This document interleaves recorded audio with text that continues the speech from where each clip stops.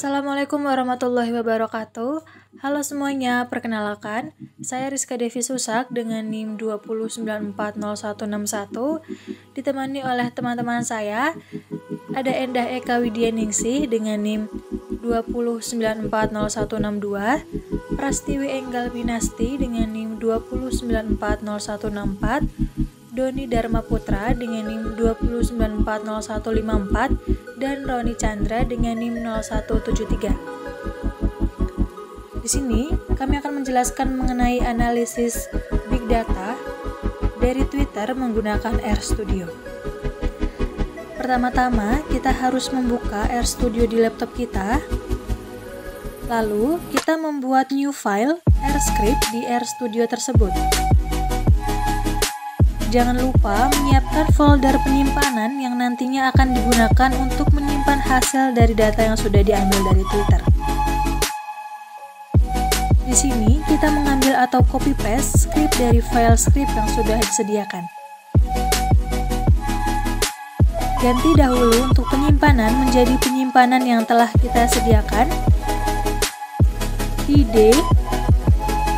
garis miring 2 was big data dan jangan lupa untuk di run.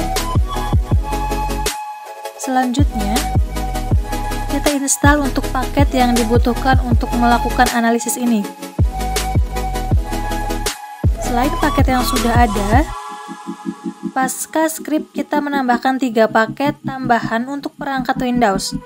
Tiga paket tersebut adalah HTTPUF, Base64INC, dan OpenSSL.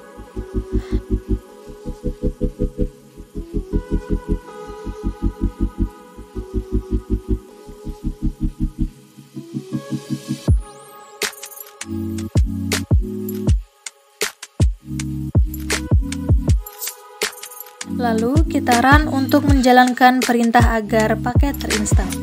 Kita tunggu dahulu sampai proses install ini selesai.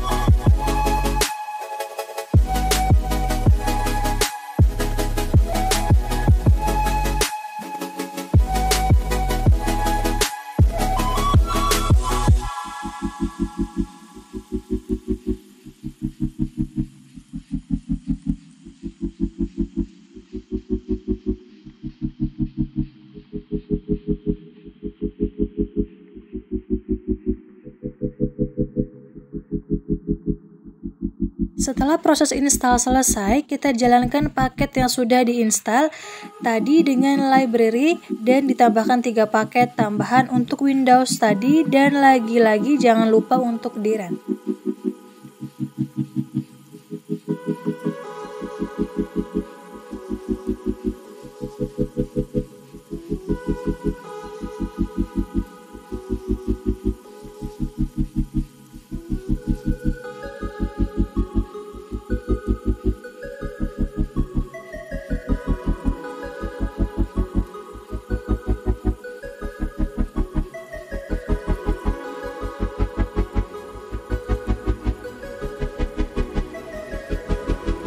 Selanjutnya, kita mengkoneksikan komputer kita ke Twitter untuk mengambil datanya.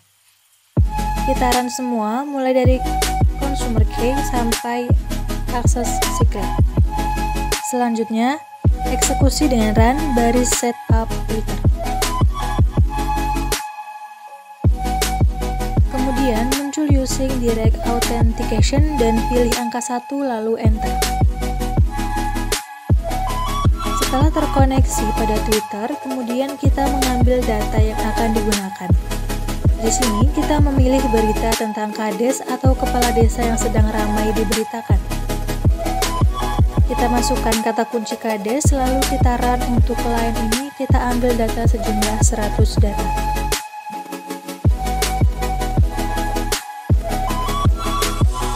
Kita run lagi line-line selanjutnya dengan satu persatu sampai kita mendapatkan datanya.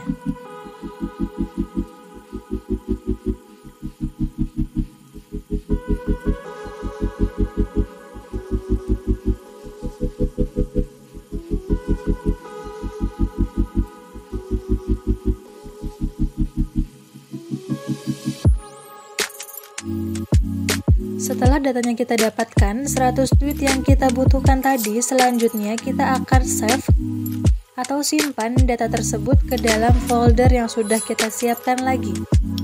Kita ganti dulu nama penyimpanannya, kita paste lalu kita kasih judul untuk nama.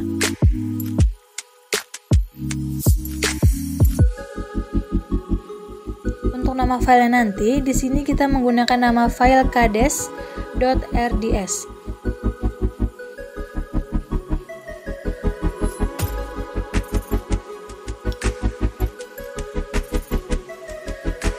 kita eksekusi, kita run.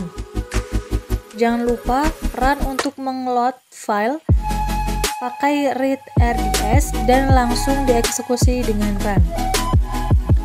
Selanjutnya, menghapus karakter yang tidak penting dan dieksekusi di run sampai line 63 dahulu.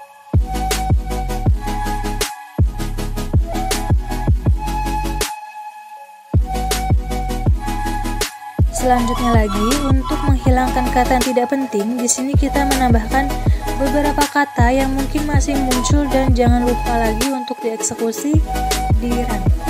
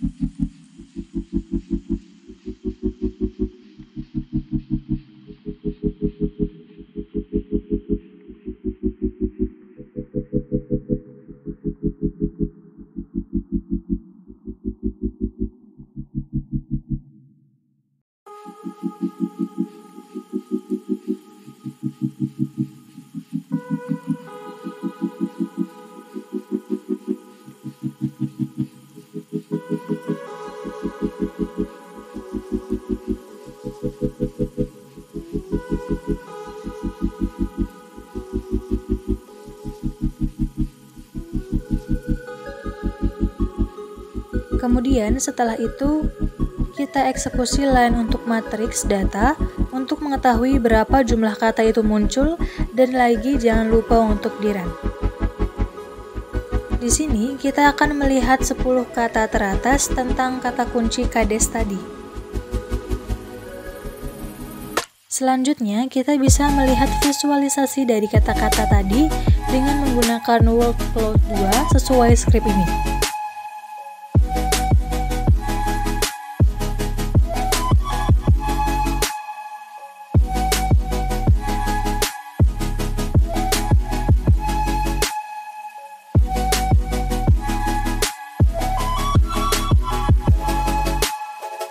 Dan kita dapat melihatnya di viewer.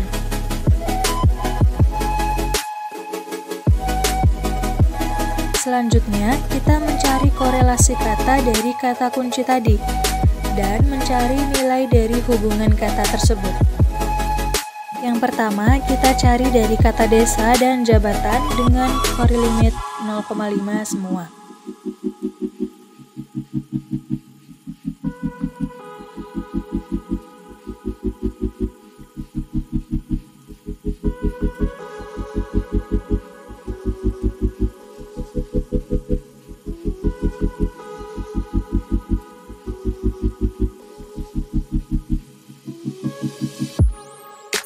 Di sini kita menemukan tetapi dengan hasil yang sedikit. Kita coba dengan kata lain, dengan kata lain sampai sesuai dengan keinginan kita.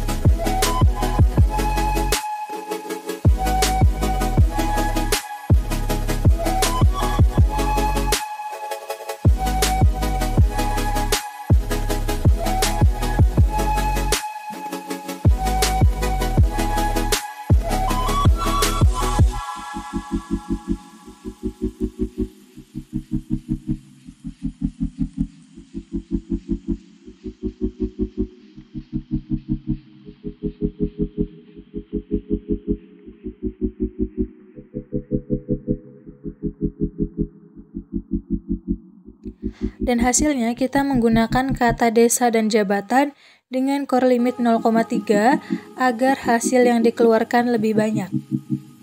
Jangan lupa untuk save hasil visualisasi kata-kata tadi.